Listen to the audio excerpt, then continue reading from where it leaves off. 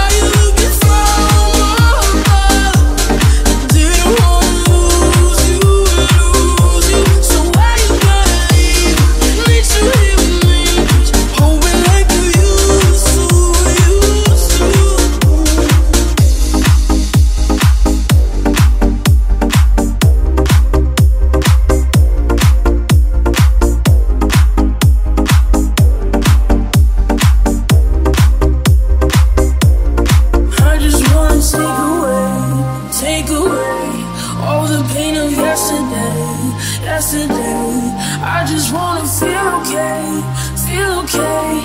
I just wanna be okay.